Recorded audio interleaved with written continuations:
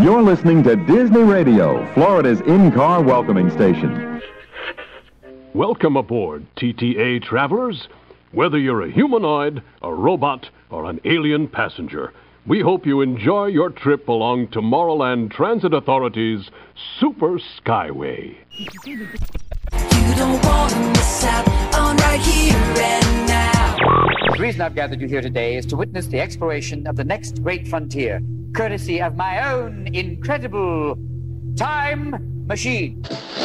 Okay, let's review. That is seat, seatbelt, carry-on item, safety strap, fear of heights, keep your hands and arms inside at all times. Anything else? Yeah. W W Radio, your information station. Hello, everybody, and welcome to the WDW Radio Show, your Walt Disney World information station. I am your host, Lou Mongello, and this is show number 242 for the week of October 2nd, 2011. Walt Disney World is a place to enjoy and create lasting memories together, whether you're a family with young children, a couple, friends, or anything in between. And yes, Disney is also a great place for teens to have fun in a safe environment that may even afford them a bit of independence while on vacation. So this week, we'll talk about taking teens to Walt Disney World with a mom of teens and a teen himself. We'll discuss planning, touring, budgeting, best attractions, misconceptions, some tips, and much more, all from a parent's and a teen's perspective. I'll have a few announcements and then play more of your voicemails at the end of the show, so sit back, relax, and enjoy this week's episode of the WDW Radio Show.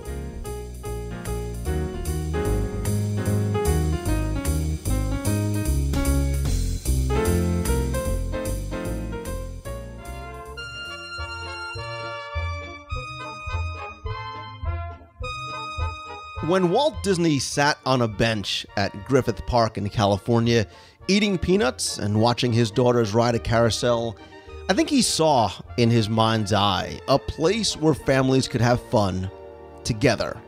Mom, dad, grandparents, kids, and yes, even teenagers. And so this week, we're going to look at taking teens to Walt Disney World. Or if you're a teenager and you prefer, teens taking their parents to Walt Disney World. But since I am neither a teen, although I did play one years ago, nor a parent of a teen, and please do not mention my daughter and teenage years in the same sentence, I wanted to bring on people who are experts in those fields because I think taking a teen to Walt Disney World or going as a teen to Walt Disney World is a very unique experience. So I'm now bringing on a parent of teens and a teens, and teens manners always being of paramount importance. So, ladies first, I want to welcome in Mary Albright. She is not a teen, she is a mom of teens. Mary, welcome to the show. Thank you very much, Lou. So, you are a Disney fan. You've gone like 20 times, and I, I, I applaud you. Uh, sometimes I probably sympathize with you because you are a parent of a teenage boy and a teenage girl. Absolutely. Wow.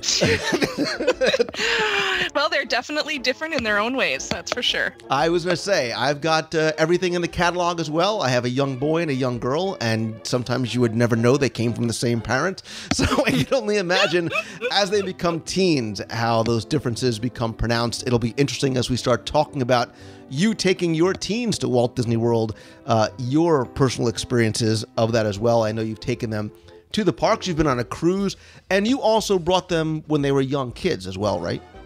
Absolutely. Yep. We've been going since they were four and five. That away. Brains, uh, teach them, educate them early, I say. My kids you go. started in the womb and they haven't left since. So we also wanted to bring on, uh, because I think it, it's, I think we need to sort of look at this not only from a parental perspective, taking teens, but a teen perspective, going on your own, you know, going with mom and dad or however you, you go. And so uh, we were going to bring on an 18 year old high school senior whose name is Blake Taylor, who I've got to say, coolest movie name ever. It's like Blake Taylor, Disney teen, whatever. Blake, welcome to the show. Thank you. It's great to be here. And uh, you're also you've been writing for the WDW Radio blog recently, so uh, I, I want to say thank you for that. Lots of good stuff. And again, the timing for this was really just kind of right. Mary came to me with this sort of uh, concept of talking about uh, you know going to Walt Disney World with a team because you made a great point, Mary. You know, you don't really see sort of the marketing towards teens. It's not really kind of addressed. We, you know, that Disney talks about going as couples, as family, bringing your little, you know, princess and your young boy, but you don't really sort of see the the teen market, uh, you know, marketed to directly. Yeah, you really don't. And it's unfortunate because I think that, you know, not only, you know, kids who've been, uh, you know, going since they were young, like mine have, um, but even, you know, parents who maybe, you know, maybe they thought, oh, well, you know, I should take them in that target zone, that eight to 10 year old zone. Um, and then they pass it by and think, okay, well, Disney is not for my family. We're just not going to go. They're really missing out because there are just so many things for people of all ages, including those teenagers, to do. And I think that you know families just need to be educated on the fact that there there really are a lot of fun activities, attractions, all kinds of things um, that the teens will love. Well, I, I think too, from a parent's perspective, taking a teen or teens plural presents a unique set of challenges. And I'm using air quotes as I say that because I think kids in strollers are much easier to deal with and much more portable than kids who can roam and wander and see bright, shiny objects or other bright, shiny teenagers and sort of want or need that sense of independence. Mm-hmm. Mm-hmm.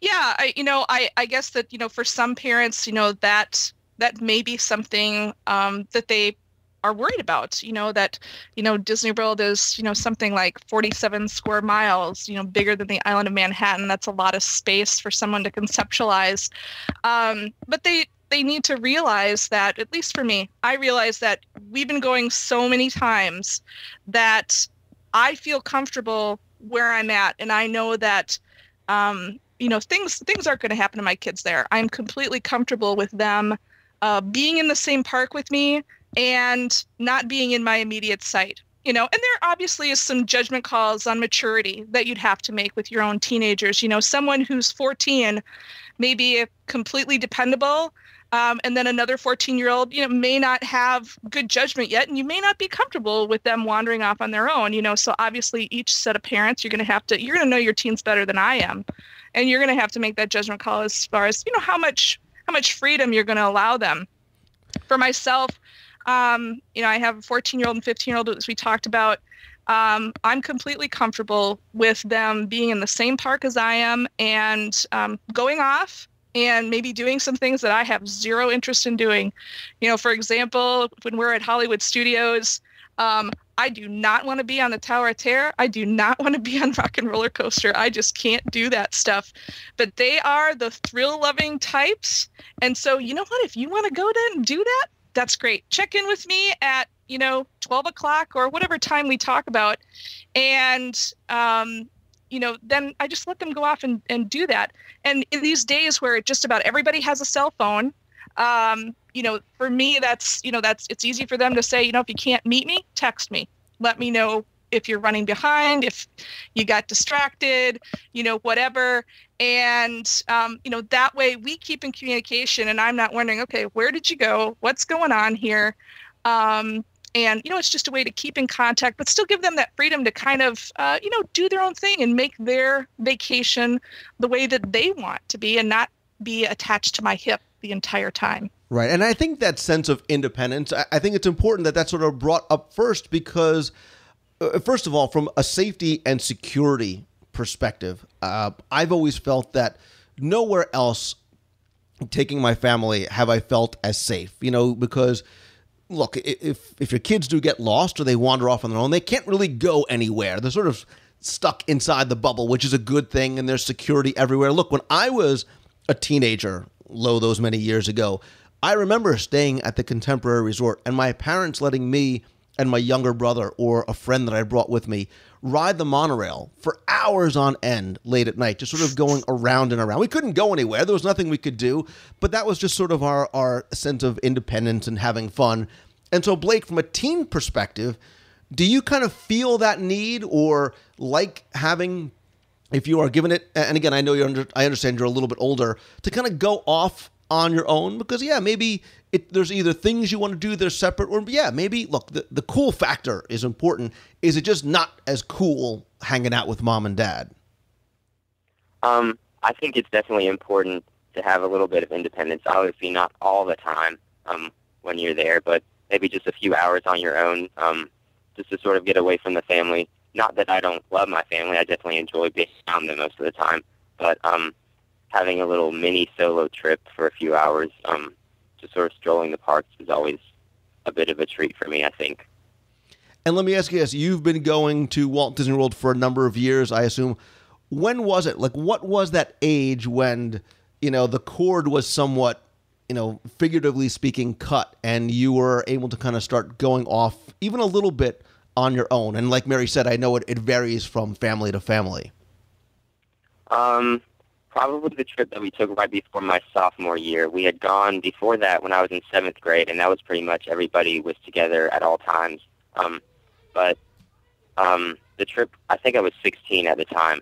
Um, my parents were totally fine just letting me wander off on my own if I needed it, and especially since I'm sort of the big Disney nut in my family, they understand from my perspective that if we're somewhere and I wanted to see the special performance of the Citizens of Hollywood or something, and it was time to go and they were at somewhere else. They totally understand me just breaking away from them for a little bit to go make sure I could catch that or something like that. right and Um, you you obviously And knew where you were to have those going Sort of yeah and you knew you were going in the park so you getting separated wasn't like you getting lost you were going off to see something you wanted to do Right. Yes. And Mary, what about for you? Again, your kids are a few years younger. They're 15, 16. Are, are you at that point yet that if you're in the Magic Kingdom, maybe they can go off and do a separate attraction in that park? Or how much sort of freedom do you start giving at a certain point? Because I will tell you this for my daughter, when she's about 35, that's when she can go off on her own. For my son, when maybe when he's 18, total double standard, but that's me being the overprotective father. Um, you laugh as if no, I'm we're- kidding. so. no, no, I'm, I'm laughing just you know in the comparison you know between yourself and my own husband when it comes to daughters. So no, it's it's totally cool. Um, you know, as far as you know, freedom to go off and do their own, um, you know, do their own attraction in the same park. We're there. You know, we've probably been there since they were 13.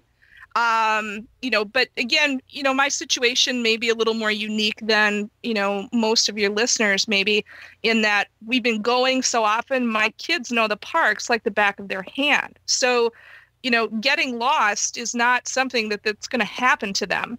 Um, you know so that my comfort level is probably um, you know maybe a little more out of the ordinary than normal but uh, you know we even you know there there have been times we normally stay you know we're, we're disney vacation club members and one of our home resorts is the beach club villas and um, that we usually stay there. And there have been times where they're like, "Hey, mom, I want to go and uh, listen to Off Kilter," and uh, so the two of them will go, and I'll say, "Okay, great. When are you going to come back?" And or it might be, "Okay, great, Dad, and I'll meet you there in X amount of time." Um, and I'm completely comfortable with them, you know, going in through the international gateway, headed over to, uh, you know, headed over to uh, the Canada Pavilion to do something like that.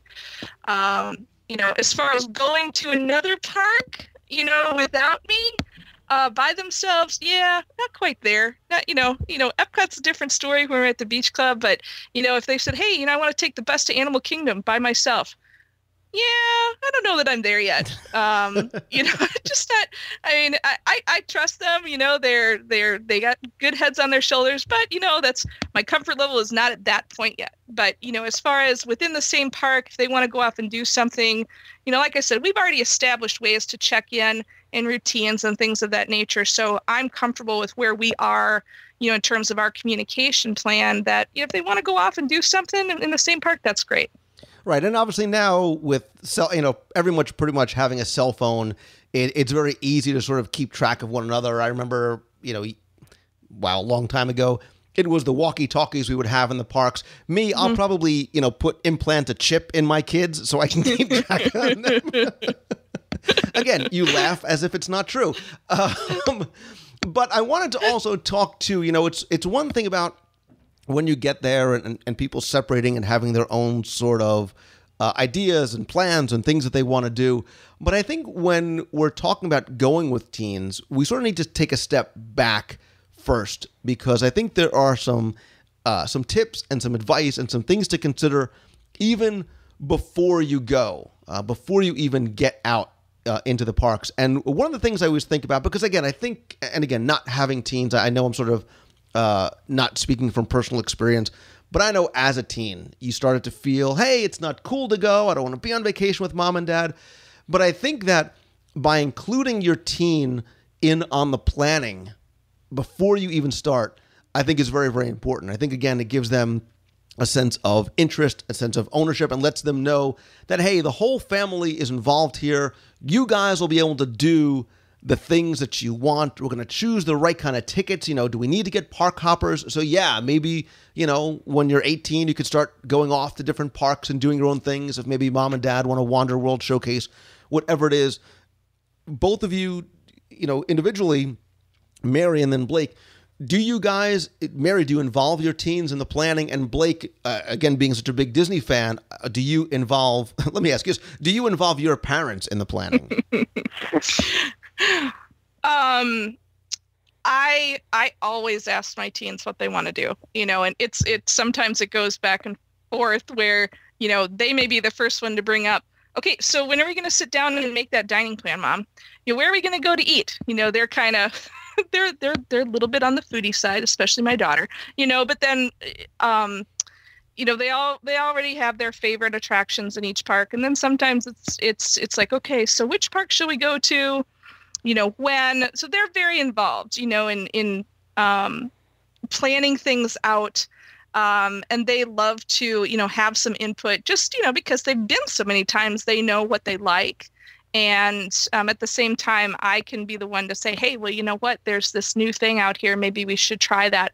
Um, one of the things i floated on one of our last trips to them was uh, you would do want to try lunch with an imagineer? And um, both my kids have uh, have said in the past that you know they they are considering you know careers in engineering. And you know even though imagineering has a very broad scope you know i thought hey that would be a really nice way to talk to somebody and what do you think about that you know would that be interesting and they both were really excited and so we ended up doing something like that um, and uh, and they really did enjoy it you know now had had i just thrown it out there or just planned it and didn't tell them, I could tell you for sure that my son would have been a little irritated because he's one of those kids who's like, why do people not tell me these things, mom? You know, why do you not tell me these things? He he's one that I like to be involved. I like to be in the know. And um, you know, so I definitely like to have them as involved as possible because I'm one of those people that likes to be in the know too, and I, I hate it when I don't know what's going on. So, you know, I try to be as as open to the planning as possible without delaying. You know, people can't make a decision. Well, then, you know, the buck stops with mom, and then I get to make those decisions. So if you want input, you got to make sure you give it to me. And Blake, are you uh, are you very involved on your side with the planning for your vacations? Yes, I'm very involved. Um, as I said, I'm sort of like the big Disney fan in my family. So usually, um, my parents initially plan like um, the actual ticketing and hotel accommodations because you know children aren't allowed to make those sort of reservations. So they're usually responsible for um, finding the best deals or whatever for reservations and whatnot. And then I'm usually the one that takes it from there as far as um, our touring strategies and where we are, what time, and of course I'm not the only one involved in that. I like to make it a collaborative process amongst the whole family.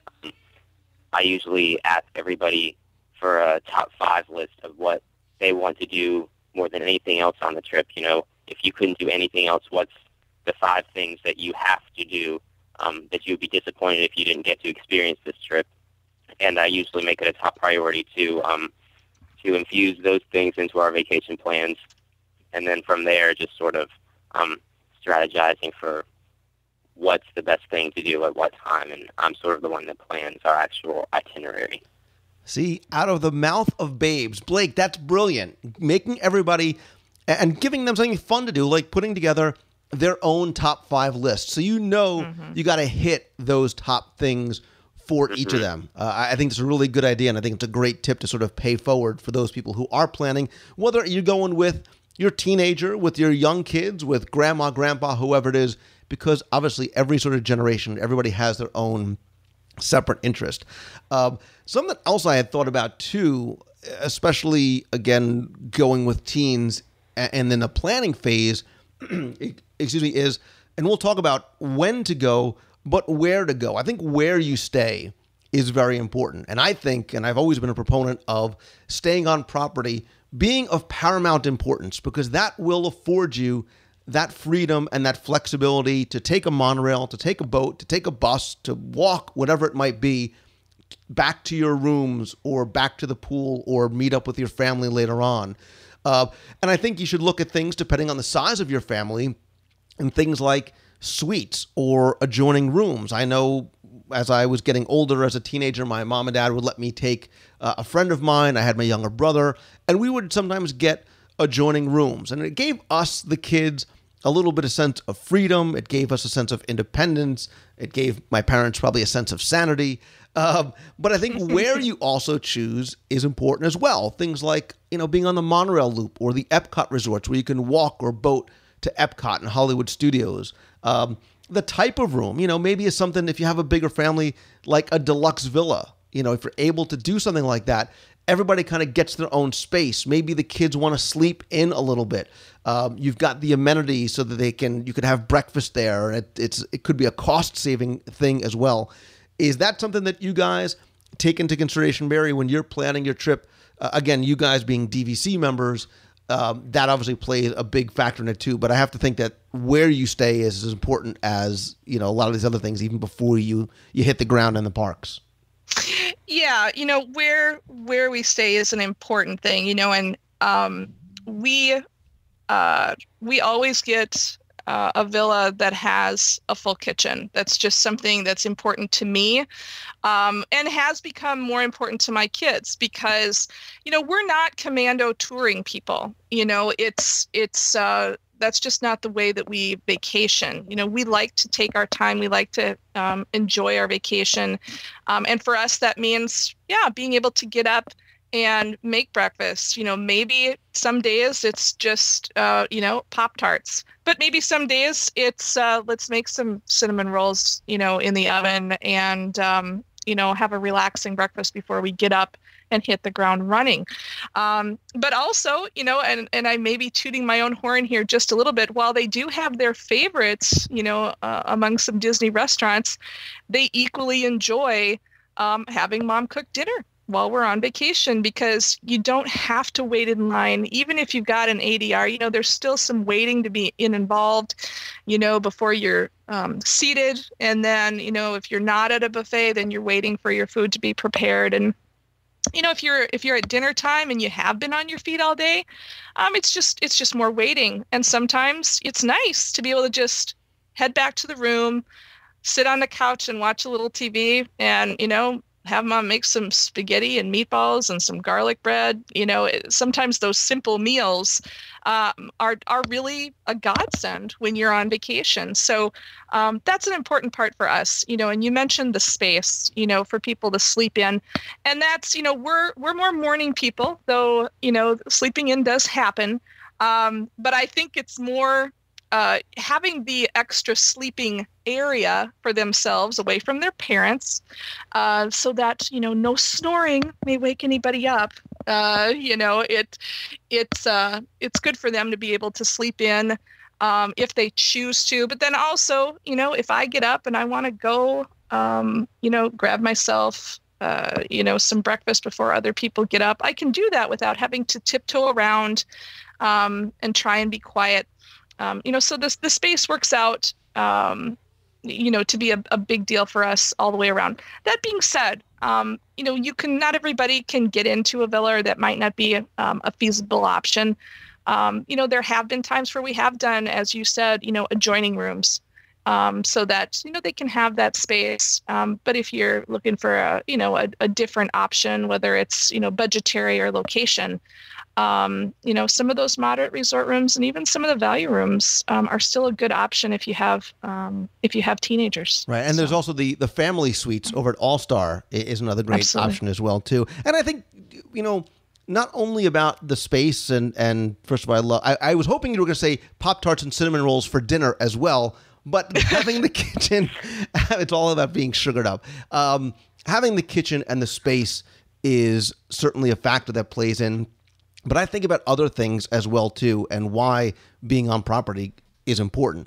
Having thing like a great pool. A lot of the resort pools are not only a great place and a great way to sort of take a break during the day, but I think for teenagers, and, and Blake, you could jump in if you agree or disagree.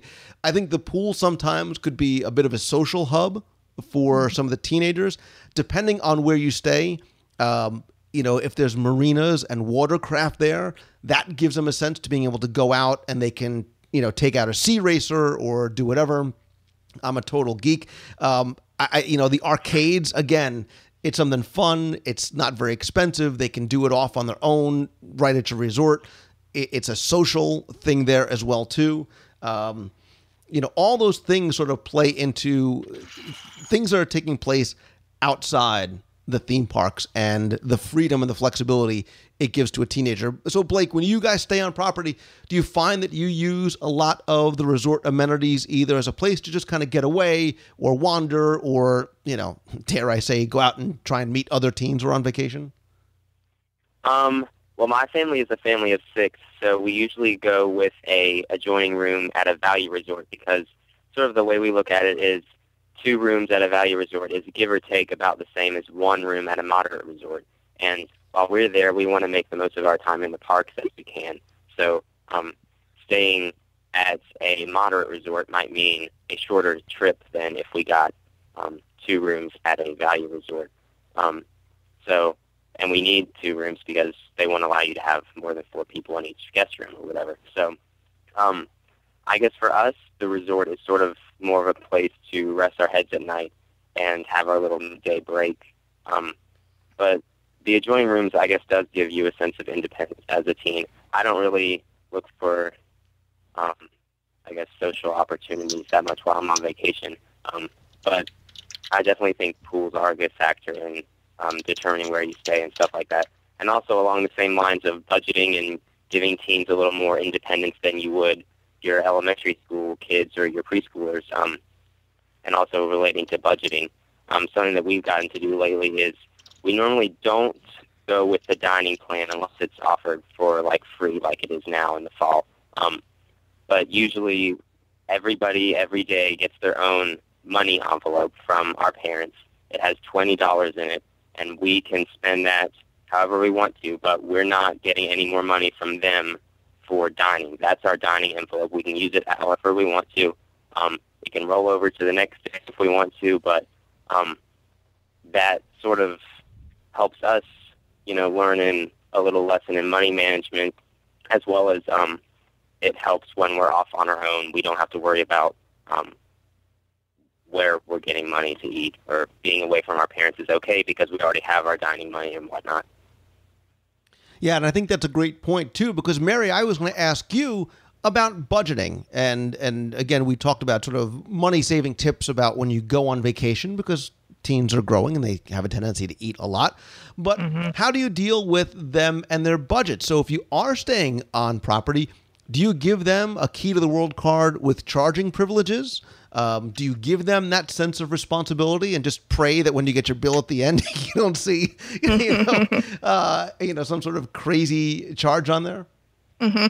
Um, I do give them the ability to charge, but we have their rules, and uh, the the primary rule is, um, you know, you they come with their own money, you know, money that that I've either allotted for them um, or that they've earned, um, you know, through chores or you know doing their little side jobs or whatever. Um, and the rule is is that uh, I'm gonna I go down and I check the um, the room account every night, and then if they've charged something, then it's there, you know, I'll have that report and I'll say, okay, it's your job to give me the cash then. If you didn't pay for it with your cash, if you're going to use your card, it's your job to pay for the cash because you can see what's been charged to what card on your room account. So, you know, I give them that flexibility if they want to do that. Um, you know, knowing that they're and, and and again because we've gone as often as we have, you know, these rules are well established. So it's not like it's something that's completely brand new. Um, but that is something that you could do if you wanted. If you didn't, if you weren't worried about them carrying a lot of cash around, you know, um, you could give them that opportunity um, to charge to the room and then have that accountability you know at the end of the day to just go down to you know the concierge and print out something you know print out your your um uh, you know your room charge bill at that time and and take care of it that way. Um, but there are a lot of different ways that you can do that uh, you know if you if you wanted to um, make them accountable. But that's that's what's worked for us um, sometimes they u- will use their card and sometimes they won't you know? They may make some charges um, or they, they there's something about having the cash in your hand i think it just kind of makes you feel like oh i'm paying for this myself and oh i have money and so you know sometimes they will sometimes they won't but i like to give them that flexibility so that you know if they are out without me and um, maybe they're hungry or they decide that you know even if we were going to plan on eating in the room but they decided they wanted to stay um, if they wanted to you know stop somewhere quick service and get something great. You know and again with you know the communication that we've set up in terms of either giving me a call or sending me a text um, you know when you have that plan in place and and my kids are really good about communicating. You know there's there's uh, you know not a lot of I'm not talking to you, mom. you know, so um, you know, I don't really have uh, I, I, don't have problems with them communicating with us when we're on vacation. So, um, but again, that that's been something that we've established, so it's already kind of ingrained. Uh, but it's not something that um, you know, if you wanted to give it a try.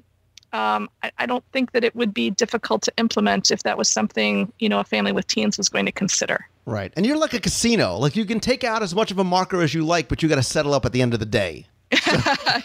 Absolutely. And I can see certainly there there's something about having that that cash in hand because you know Blake exactly how much you can spend and you you see it there and there is not that maybe the temptation of just you know the credit cards like not having money it's just oh, i still think like a teenager yeah I just keep charging it and i'll worry about it you know when the bill comes later on but uh, something else I was thinking about too when we're talking about you know when we're going and how to go and how to do all these things is school uh, because not everybody is you know able to maybe go on vacation when school is out. And I will tell you that as a kid um, and growing up, oftentimes my parents would take me out of school. And now I know a lot of people do not like that; they don't agree with it. But because of what my parents' schedule was, that's what we had to do and I was given homework in advance. And I know uh, I'm seeing as time goes on, teachers don't like having to, and I completely understand, don't like having to sort of make special homework assignments or catch up or, or give it to them in advance. Uh, but is going while school is on an option? And again, I know I think this changes depending on the grade level. Look, if I take my you know six year old out of school, it hopefully is not going to preclude her from going to Harvard. Um, but if you take your teenager out of school, it's a different story because of the grade level and, and what classes they're taking and what may be coming up. Uh, especially Blake, you know, if you're a junior or a senior and you're thinking about things like SATs and colleges and whatnot. Um, it, is school does does Blake? Did, have you ever gone as a teenager and been taken out of school and had to deal with either the schoolwork beforehand or playing catch up afterwards? Yes, um, last December I was out of school for three days while we went, um, and I definitely, like you said, there is a big difference in as you grow older having to be more responsible for your own workload. Um, I mean, like in elementary school, usually the teachers are real nice about it, you know, giving you a packet of all the worksheets or whatever way ahead of time, so that by the time you actually leave for your trip, you're already done with all your work that needs to get done, and it's probably not that much work anyway. But um, definitely, especially last year, it's more like it's your own responsibility to find every teacher that you missed class for and find time to make up a test or the work or whatever on your own. The teacher's not going to hand it to you on a silver platter and say, okay, here's what you missed. It's more of your responsibility to, um, um, like my school system, it has, we have an online grading system where you can look online. Everybody has their own account, and you can see what your grades are for each assignment. So I think for me, it was more like going on that online program, seeing what I missed, and asking the teacher when I could make that up for every class that I had. And that was a lot to deal with because even though we only missed three days, it's still a significant amount of work to make up. I mean, I know the night before I left, I had tried to get as much makeup work um, ahead of time as I could, but you know, teachers sometimes they don't know what they're doing the next day. So um, I stayed up real late the night before we left, trying to get work done, and that, of course, wasn't very good because then I'm already behind on sleep, and we're getting ready to take a vacation. And even though it's a vacation, you know, at Disney, you're sort of on your feet all day long. So I was already exhausted by the time we got there, really exhausted by the time the trip was over, and then I had to come home to this whole big mound of makeup work that I still had to get done. And I definitely think it's always worth it in the end. Like I'm definitely glad we went, um, but I definitely prefer going when school is out. Yeah, I'm sure it's much easier on you, on your family, certainly your your teachers as well too. Mary, have you ever taken your kids out for any sort of, you know, other than just maybe a day on the weekend here or there, but an extended period of time to go to Walt Disney World? And if so, what is that experience been like for you and for them and even how the teachers responded? Yeah, I'll, I'll echo a lot of what Blake just talked about. You know, when they were younger, um, it was it was definitely a lot easier. Um, my favorite time has always been uh, to go in early December, and so for a long time, that's what we did. You know, with some uh, variations here and there. Um, and you know, at the time when we started traveling, I had uh, I was a different place in my life where the job that I had December was my slow time. And so I could, that's the time that I could take uh, to go on vacation. And, you know, just ended up working out really well. As they've gotten older, you know, I, I still talk to them about, okay, you know, do you still want to go? How do you feel about school? Things of that nature. And um, we're now, we last year we went uh, right after Thanksgiving. And I had talked to them about it because both of them, you know, were in um, at the time it's the eighth and ninth grade. And um, so it was you know just a little different. And you know how do you feel? Do you want to take on the homework that you're going to have when you come back? And it was more a concern for my son than my daughter. You know he is he's the one that tends to he's he's more of the the one that really worries about things like that. She's a little bit more you know even keeled in in terms of tackling things of that nature he initially said, Yes, I'm okay with it. That's great. Um, we went, we came home. He had a lot of work and and he went got through it um, but you know the stress that it put on him when we got back just kind of solidified in my mind that okay we're done with that now and we're not going to be able to do those family vacations um, for the foreseeable future at that time of year. And so, you know, while disappointing for me because I, I dearly love to go with my entire family at that time of year, I can't, I, I'm not going to put them through that stress just for my own personal gratification. And so, you know, while we have gone at that, you know, we have gone and I have taken them out of school and for the most part, you know, the the schools have been understanding. Um, maybe not always as cooperative as I would have wanted in terms of giving work ahead of time, but um, it is hard because there is so much more work and responsibility um, when you are a teenager in school that you know we've now decided we can't do that anymore. At least not not for the foreseeable future. Um, you know, so it, it can vary. You know, there I know a lot of people who um, you know don't have to deal with that issue if they're um, because they're in a homeschooling environment so they can kind of go whenever they want. But you know for those of us who who are in um, the public school system um, once you get into those teenage years it's kind of hard to deviate from those school breaks um, and not stress out your teen. Yeah and i think that there's another factor about being taken out of school mary that maybe you know blake can can relate to more because when you come out when you're being pulled out of school or you're you're take you're, you're going out of school to go on vacation and you're telling other kids in school that you're leaving to go to Disney World I think that, you know, teens sometimes may not feel that, hey, going to Disney World is not the coolest place in the world. And I think when you're in that teenage time period, it's important to think and look and, and act cool, of which I failed at all three when I was a teenager. But so, Blake, let me ask you, you know, do you see that at all? Do you ever see, you know, from people who we talk as adults about getting it or not getting it? Do you ever see that saying, hey, you know, I'm I'm, I'm going to be out for a couple of days because I'm going on vacation, and people say, "Where are you going?" And they say Disney World, and they're like, "Disney World? It's Dumbo and Cinderella. That's not, you know, is it is there that cool factor or not cool factor about going to Disney?" Um, my school might be in the abnormal as far as sort of what you were saying because I think, I mean, I just never seen somebody that was, you know oh, I have to go to Disney World with my family. I haven't really seen that. I think everybody sort of, you know, views it as, you know, oh, Disney World, like, you know, the, the world's biggest playground, I guess you could say. Um, but no, I haven't really. I mean, I think other Disney properties like, you know, Disney Channel or Disney movies are generally looked at as not being, you know, the cool thing for teenagers as more as they are for, you know, like elementary school kids. I think the actual parks are sort of viewed as um, sort of, I guess, cooler, you could say, than other Disney properties. But yeah, I, I haven't that, really seen it being a factor. And I think you're right. I think that that's changed over the years too, because over time, especially you know, remember when I was a kid, it was just the Magic Kingdom, and right. over time, there has been so there have been so many more additions and a lot more cool attractions, a lot more thrill rides. And maybe let's talk about that. Some of those best attractions for teens, the one that you as a teenager think, yeah, these are ones if you are a teenager and you're concerned about going or if, if you're about to get thrown into a locker and you need to make your argument as to why Disney World is cold, not that I'm speaking from experience, but um, some of those those best attractions for teens. You know, let's sort of start off with the Magic Kingdom and, and kind of work our way around.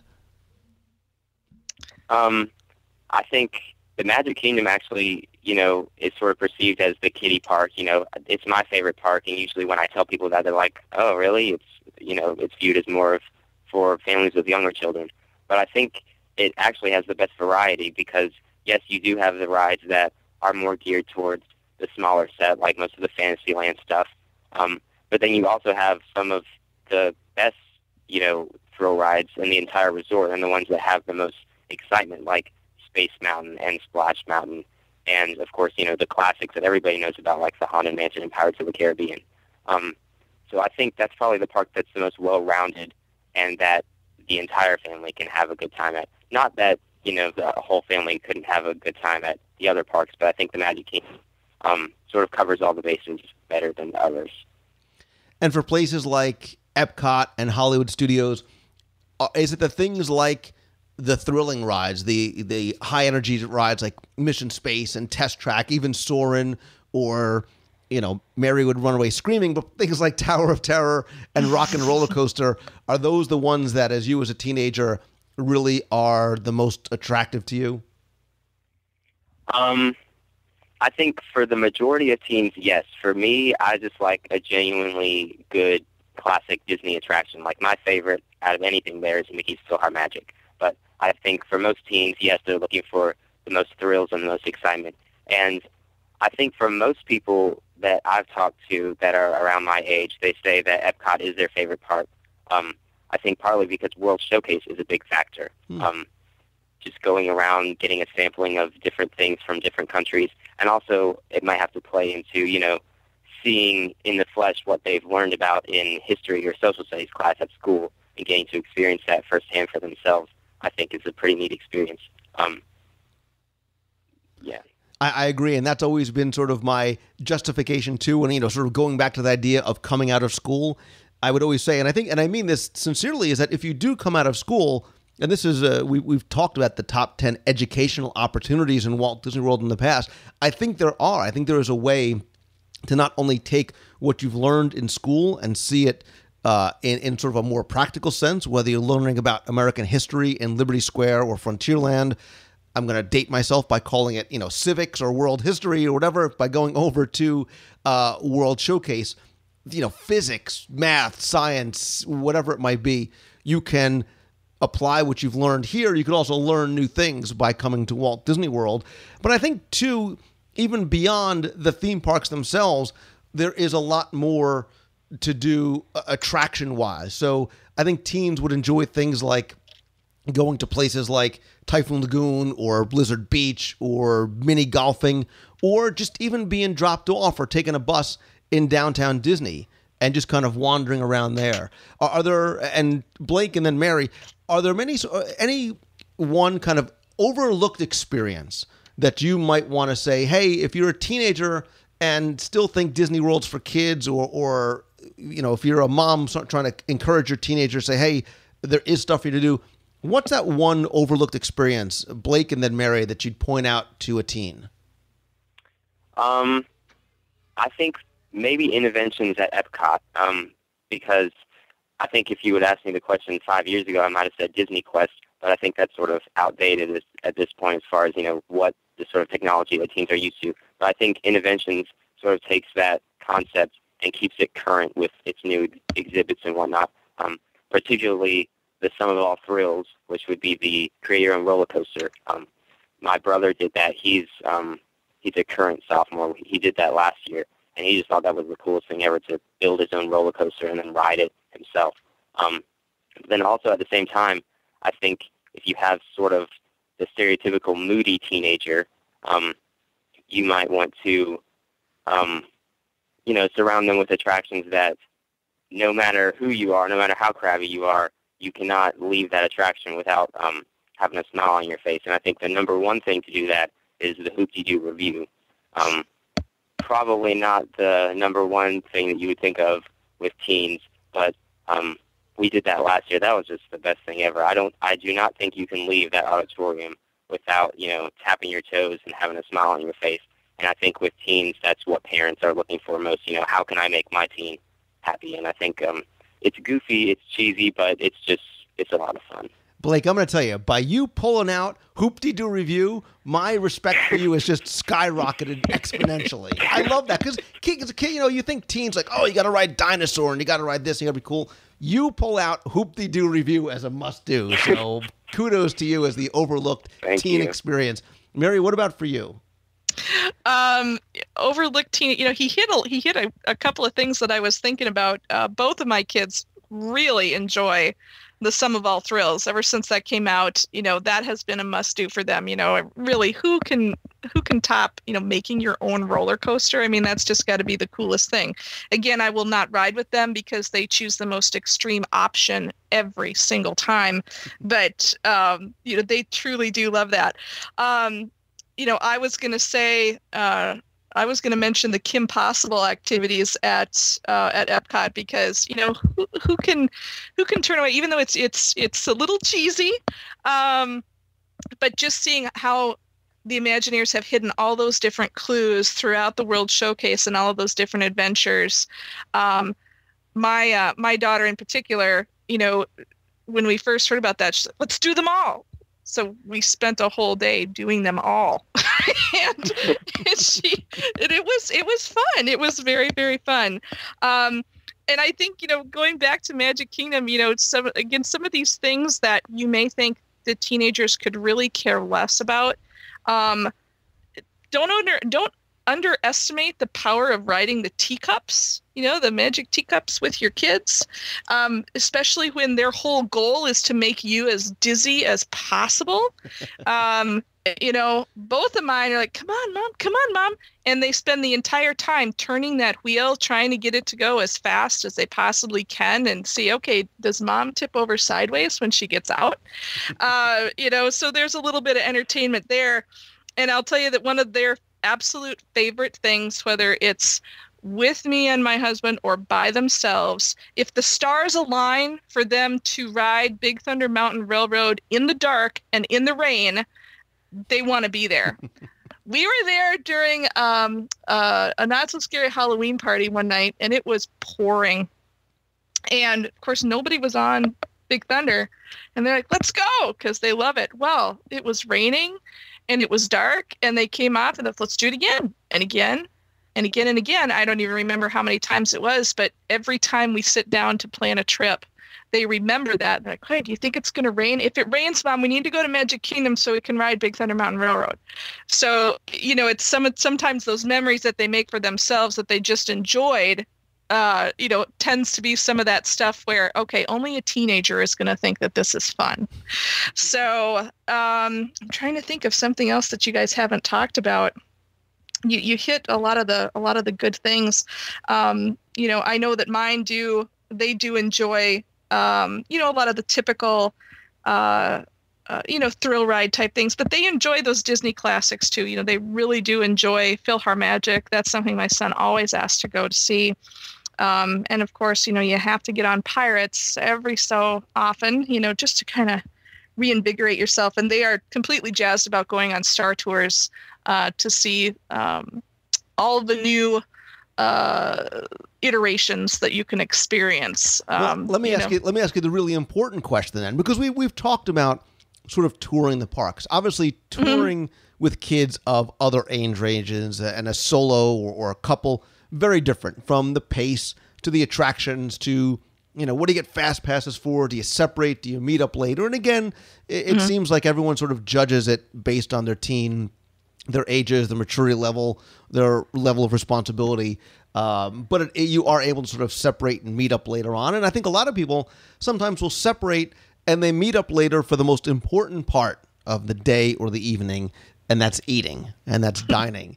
Uh, i- are there any sort of special considerations or when you're planning with your teen, or are there restaurants that you find the teens love going to? You know, uh, and again, going back to Hoop-Dee-Doo, I think that's awesome. But uh, places they like eating, do you want to stay away from character meals? Do you, Blake, let yourself be a kid again and, you know, run around with, with Pooh and friends at, at Crystal Palace? Mary, any sort of special considerations dining wise? And then you, Blake.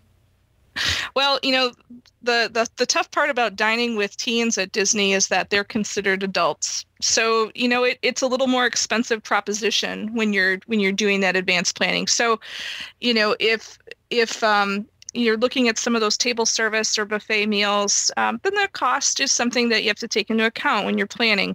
And um, you know, so you can you can decide if there's a dining plan that works for you or not um, you know that that's a personal decision that each person has to take into account. For me, um, we do kind of mix we mix in some table service meals with with eating in the room, um, and I you know part of the planning I do involve them. Where do you want to eat? What do you want to do? Um, and I'll tell you, Crystal Palace is a must do. It is always on the must do list to have breakfast at Crystal Palace. That's kind of our family tradition to do that at some point. Um, as far as do we have to do character meals all the time? No they have they have some things that they enjoy. Um, you know crystal palace being one they also enjoy the garden grill which i think is one of those you know one of those often overlooked areas. Um, they they enjoy the food there they enjoy the um, the character interaction you know so it's just kind of something that everybody loves.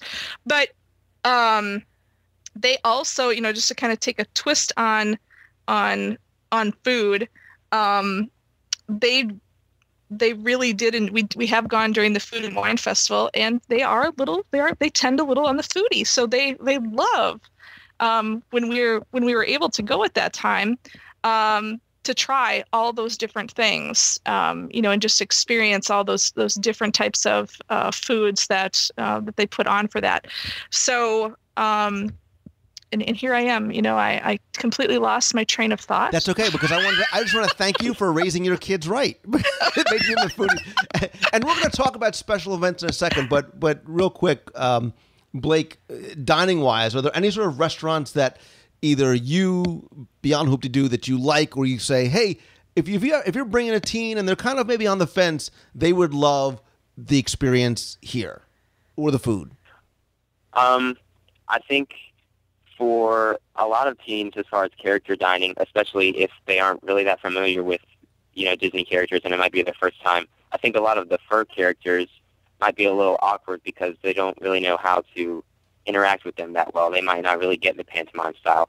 But if you still want to do a character meal, and you have teens, I would go with 1900 Park Fare at the Grand Floridian, which again, like the Hoop-Dee-Doo, is not something that you would initially think of when you think of teens, but um, they do have the face characters that have the license to make fun of you. You know what I'm saying? At breakfast, they have the Mad Hatter, and then at dinner, they have Cinderella's stepsisters, and they sort of have that sort of creative license to mess around with you or poke fun at you um, because it's totally in character with them. And I think, um, especially with teens, sort of you're able to hit it off well with them. Um, like for instance, my brother, he's a big football guy, and he totally had the best time with the Mad Hatter. They just went back and forth all morning long. Um, the Mad Hatter visited our table several times just to come and talk again to my brother. Um, I mean, it was totally just senseless jokes and making fun of each other the whole time, but it was lots of fun, and that was one of his favorite times of the whole trip. And, I think you make a, a great point. And one of the things that that I wanted to mention was, again, it, whether it's and look, I think a lot of us who are here and who are probably listening, there's probably not a con- lot of convincing that has to happen for our teens because we're raising them right and we're raising them around Disney. But there are things like that that you can, when they get there, make them understand, which is it's okay. It is okay to be a kid again. It's okay to do all those kind of things because chances are you're never going to see any of those people again. Of course, I usually end up seeing those people again, and when I act like a kid, but that's okay for for the most part. So it's okay if the big 18 year old football player or wrestler or lacrosse player wants to get up and joke around with the characters. And I think you also mentioned too Food and Wine Festival, Flower and Garden Festival, Star Wars weekends. There's always something maybe that they can enjoy on some of those special uh, events and so as well. The other thing, I think the other opportunity that Disney affords, you know, are for things that parents and kids can do together, whether it's a dad and son, mother daughter. Because again, real life, every day, everybody's so busy. You know, it's school and it's work and it's after school and all these kind of activities that are, that are going on. Uh, and sometimes it does take something like a, a trip to Disney to allow you to spend some of that time together. And I think things like the special tours or even something as simple as fishing or if it's a Richard Petty experience, the going to the spa for a Manny Petty, whatever, with your daughter. I know friends that their yearly pilgrimage includes scuba diving over at the Living Seas. There's parasailing, Sea Raycers, sort of whatever it is. I think there's a great opportunity there to really connect with your teenagers and teenagers to connect with their parents as well. Uh, with some of those special individual things that you can do either collectively as a family or sort of even breaking away. Again, you know, the, the mother and her daughters or the father and his sons, whatever it is. You know, you should do it at home, but sometimes you don't get a chance to. Here, you've got a great uh, opportunity to, uh, you know, go ahead and do that. Uh, have you guys, Mary, have you done that with any of your kids? And, and Blake, have you done that with, with your parents at all? Uh, I have done that with uh, with my kids. My husband and I actually we there have been plenty of times where um, we've gone in different directions with one or the other of the kids. You know, sometimes you know he's off with my son and I'm with my daughter, or it's vice versa. It kind of just depends on what's going on. Um, you know, for example, uh, my daughter and I went to afternoon tea at the Grand Floridian uh, by ourselves, and the boys just kind of were, yeah, not for us. So they ended up going to Magic Kingdom and just wandering around the park doing stuff together. Um, at that time, uh, there's been times where uh, I know that I went on one of the Surrey bikes with my son while my husband and daughter, you know, they lounged at the pool.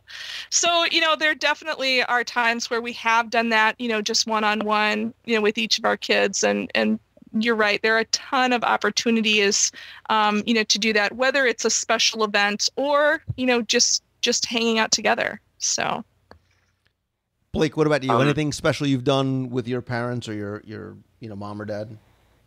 Yeah, um, I sort of inherited my Disney fandom from my mom. She grew up, um, she lived in Winter Park, which is right outside of Orlando when Disney World opened, actually. So, um, all throughout my childhood, she had sort of hyped up the Keys to the Kingdom tour. Um, you had to be 16 to take it, and that was sort of a big, I guess, rite of passage, you could say, for me because you know she had hyped it up for all these years. She said when I was going to turn 16, she was going to take me on it, and um, we actually went down for my 16th birthday. The we, it was a trip for the whole family, but um, I turned 16 that week, and then we took the tour a few days after that, and um, that was a great experience. Not only you know to see all the behind the scenes stuff of the Magic Kingdom, but also a great um, experience that I'll have with my mom that I'll remember always. Um, and that was sort of cool for us as Disney fans to sort of see all the behind the scenes stuff, and then afterwards, the rest of the trip, being able to point out, you know, to the rest of the family, you know, like, oh, we know what's behind there, or in an attraction, we know how that works, or something like that. Um, so that was a very cool experience, and compared to the other tours, I think it's sixty-five dollars, and it's five to five and a half hours, and in comparison to the other tours, that's a real bargain, I think. And, I specifically wanted to bring up doing some of those experiences and, and making the time for those kind of things with your parents or a parent or, or whatever it might be uh, as we start to wrap up specifically because i wanted to share my number one tip or my number one piece of advice. And i want to ask you mary and then blake to do yours as well. And my number one tip is that i encourage and insist and beg all of you to make time with your teens and teens make time with your parents. Because I love Walt Disney World not because of my love of the attractions or the history or the details or yeah the food but it but it's because of the memories that I made there with my family. And parents don't be upset if they say hey it's it's too cool. I don't want to be with you and they need to go off on their own they are going to come back around. You know, it's sort of that big circle of life. And kids, it is cool to be with your mom and dad. And you might not think so while you're there, but I, I promise you, years later, you will look back on these times incredibly fondly, like I and so many other people do. So, you know, enjoy that time together. Be a kid again. Take pictures with characters. Act goofy. Be the Griswolds and get the Mickey ear hats or whatever it might be. Indulge your parents just a little bit. And parents, you know, uh, and I, I fall victim to it as well. Do as I say, not as I do. You know, put down the iPhone, put down the Blackberry. This is your time to create those very special memories with your kids and with your family because uh, they will never sometimes come around again. You don't know when you'll have that opportunity again. So, uh, Mary and then Blake, do you guys have sort of one final tip for going with or going as a teen to Walt Disney World? Yeah, I guess my my final words on that um, are to parents is uh, you know they want to act like a kid again. It's hard enough being a teenager um, the way the world is right now. All the responsibilities that that my kids have are vastly different from when I was a teenager. Um, they want to act like a kid again. They want to um, you know, to, to kind of put the world behind them when they go on vacation. And believe it or not, mom and dad, they really like to be with you. They may not act that way all the time, um, but once you get there, they do want to spend time with you, and they they do get that um, making memories with their family, experiencing things with their family. They do want those things. So make sure you talk to them and uh, involve them in the planning, and you'll find that you will have an enjoyable Disney vacation with your teenagers. Right, and I totally agree with that. Sort of along the same lines, I think the biggest thing for me whenever I visit Disney World is to make sure that I totally remove myself from everything else that's going on. I don't bring any schoolwork actually to Disney with me. Um, I leave my computer at home. Of course, I have my cell phone because it's necessary to, you know, have contact whenever you're away from your family for a little bit. But I try not to, you know, text friends or anything too much um, while I'm there. And I think it's just when you're there, you really are in another world, and it's important to stay in that world and not have any outside intrusions um, damper your vacation. And I think something I've noticed, especially the jump from middle school to high school, is a lot of my peers have started to have a little bit of nostalgia for their childhood memories, for this, you know, sense of being a kid again. And I think when you're at Disney with your family, you act like you're five years old, and it's totally okay to act like you're five years old. because everybody around you is acting the same way. I mean, if you were anywhere else, it would be absurd and insane to, you know, wear a big green goofy hat with large goofy ears hanging off the top of your head. But there, it's, you know, it's normal. And that's what I love so much about it. You can be the child that you were, and it's completely okay with everybody else around you. And, that's it. And that's all about sort of getting and understanding and letting yourself being wrapped up in that disney magic that we kind of talk about all the time. And and you're right. Be a kid again and enjoy those simple pleasures and look back find that photo that you guys took on your first vacation at walt disney world and go back and recreate it again and again each time that you go it's a great simple way to kind of remember and sort of build on those memories and just allow yourself to be immersed in that experience and, and that quality time with your family because that really is what it's all about. It's not about rides it's not about food or shows or whatever it is. It's about the time that you spend and, and sort of bringing it all the way back to walt again that's what he wanted when he sat on that bench in Griffith Park. Uh, that's what I think he looks down and still wants, and he enjoys seeing uh, even today in Walt Disney World. So, Mary Albright, Mary Albright, the mom of teens, and Blake Taylor, the teen. I want to thank you guys for coming on today, sharing your thoughts and your insights and uh, and sage words of wisdom. And yes, Blake, go see the Hoop-Dee-Doo Revue. Thank you. Uh, also, be sure and come by the WDW Radio blog. Check out some of uh, Blake's great articles and blog posts there. I'll link to a couple of them in this week's show notes. Guys, thank you again. Thank you. It was a so much pleasure. fun. Thank you.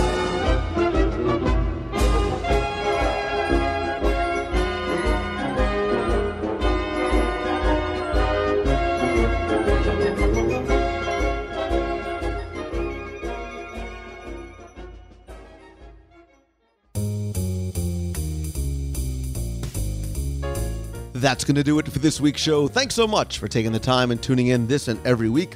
Please come by the website over at wdwradio.com. There you can leave your comments or thoughts or best tips about taking a teen or going as a teen to Walt Disney World by clicking on the podcast link and show number 242.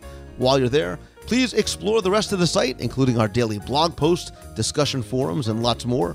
I also love hearing from you, so feel free to email me with any questions at lou at wdwradio.com. Or if you want to be heard on the air, call the voicemail at 888 703 2171. Don't forget that in addition to the show, please come by and watch our weekly live video broadcast and chat every Wednesday night at 7:30 p.m. Eastern at wdwnewscast.com. Every week we discuss that week's Walt Disney World news in a live interactive discussion forum where you can ask and answer questions while the broadcast is going on. If you can't make the live newscast, you can watch it at youtube.com slash wdwradio right on our blog, or I'll also put the audio in the iTunes feed as well. While you're on the WDW Radio site, be sure and check out our Disney Meets link where you can find out more information about WDW Radio Meets of the Month in Walt Disney World as well as other special events. You can also find links to follow me over on Twitter. I am at Lou Mongello. And please come by and join the WDW Radio Facebook friend page at facebook.com slash WDW Radio. Also, be sure and visit celebrationspress.com. There you can find out how you can subscribe to and order back issues of Celebrations magazine and now download a free sample PDF as well. Also, we're now taking pre orders for our deluxe limited edition holiday special edition. It's a hardbound deluxe book with more than 120 pages of Disney Christmas magic, hundreds of color photos, and behind the scenes stories of the holiday celebrations, past and present, at Walt Disney World. Great way to sort of relive the holidays at the parks, the resorts, and so much more. It's available in early November for $24.95, but you can pre order your copy now for the exclusive discount price of just $19.95 plus shipping. To learn more or to pre order your copy of the limited edition book, visit celebrationspress.com. Big thanks to my partners and sponsors, including MEI and Mousefan Travel. They are my official and recommended travel provider. Whether you're going to Walt Disney World, Disneyland, Adventures by Disney, Disney Cruise Line, or anything else, Becky and her team of agents not only give you incredible service, the best possible discounts, but really the level of personal service, all at no extra cost to you. They are over at mousefantravel.com. All Star Vacation Homes generously provided our home base for the 40 hour show this weekend. They have more than 150 homes within just a couple of miles of Walt Disney World. They've got everything from private pools and spas and game rooms and kitchens to from two bedroom condos up to seven bedroom homes. You can visit them over at allstarvacationhomes.com. And if you want to stay right in the heart of Walt Disney World, the Walt Disney World Swan and Dolphin not only has the most comfortable heavenly beds anywhere, but 17 world class restaurants and lounges. This coming weekend, they've got their second annual Food and Wine Classic, and they're just steps away from Epcot and the World Showcase and their Food and Wine Festival. For more information, visit them over at swananddolphin.com. As always, my friends, and I do believe that you are my friends, whether we have met yet or not, all I ask is that if you like the show, please help spread the word. Let others know about it. Tweet out that you're listening. Share the link to your favorite shows on Facebook or discussion forums or Google Plus, and please come by iTunes, rate and review the show and the WDW Radio apps there as well. Also, please don't forget that there's no time like right now to start taking those first steps towards pursuing your passion each and every day. And once you do, always keep moving forward. Thank you all again so very much for taking the time out of your busy schedule to listen each and every week. So until next time, have a great week, everybody. See ya. Hi, Lou. It's Meredith in Toronto. Big fan of the show. Your positivity, attention to detail, and all around sense of community are really appreciated um, by this viewer in Can- and listener in Canada. I'm going to be in the world on for our it's our Canadian Thanksgiving October 7th to the 10th, and I'm just wondering if you're planning anything in terms of eating around the world at Epcot with the Food and Wine Festival. If you have anything planned, so let me know and let all of us know because it would be great to meet you and Deanna and the whole gang in person and perhaps have some cheddar cheese soup at Canada and uh, other great treats. Um, so looking forward to your answer on the podcast, or uh, you can drop me a quick email. Um, thanks, Lou. Bye. Hey, Lou. It's Catherine from Long Island, calling from the beach of the Polynesian Village, where I'm laying in a hammock, having an awesome time. I know you love food. Had some great snacks. Had the carrot cake cookies, some school bread, and had dinner at Narcoossee's, which was awesome. And we're going to Artist Point tonight. Had a fabulous vacation. No lines. Best thing ever. Um, I'm a first time mom, so this was my girls trip out, my sister and myself and my friend, and we are loving it. What a wonderful time we've had. Um, love your show, listen to it all the time, and can't wait to hear what's coming on for next week. All right, hope your trip to Hawaii was good. Bye bye. Hey Lou, this is Sarah from Michigan calling. I just wanted to call and say hi and thanks so much for all that you do. Um, I want to tell you that I specifically enjoy hearing all of those neat little audio clips that you insert into the radio shows each week. Um, I have a terrible visual memory, so when I when I hear a sound, um, it, it really takes me back, and I feel like I'm right there in Florida. So keep those coming. I love the variety. Um, those are really great. I also wanted to say that uh, we're getting excited for our wedding at the Wedding Pavilion um, in October. And I did want to tell you that I talked to my wedding coordinator about that rumor of moving the couples. They said that they've already contacted all of those couples that have been immediately affected by the Grand Floridian construction. We weren't one of those, so I think we're okay for now with that. Um, but truthfully, wherever you get married in Walt Disney World is uh, is going to be a great event nonetheless. So it it, it couldn't be too terrible. Um, but our, our wedding planning process has uh, been not so fairy tale. But with your shows, your newscasts, the contests, all of that really helps uh, keep me staying positive about our celebration. And I look forward to them every week. Um, so I just wanted to call and say hi. That's about it. And we'll see you at the 40 hour show. Get my box people shirt today in the mail. And uh, thanks so much again. We'll see you. Hey Lou, Jen Tremley from Bristol, Connecticut. Just returned from my uh, trip to Walt Disney uh, over the weekend. We were down there from the uh, 17th to the 24th. Uh, sorry I missed uh, your meet of the month this month um, by a week or so. Um, I wish I was going to be down there for the uh, 40th celebration on the 1st, but uh, unfortunately I'm already back home and missing it already. uh, we had a blast as always. Uh, we took our niece down for her first time to celebrate her 16th birthday, and we just had an awesome, awesome week. Um, and like I said, I'm already going through my Disney withdrawals.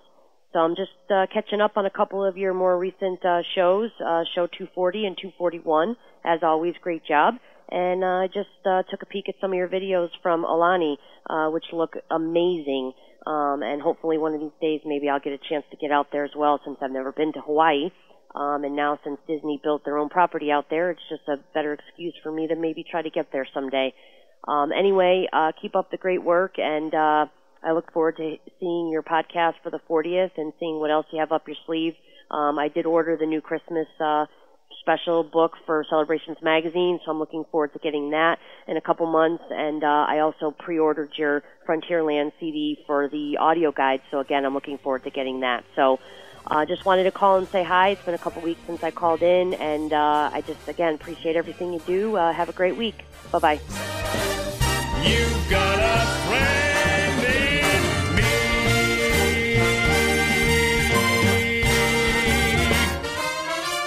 Yeah.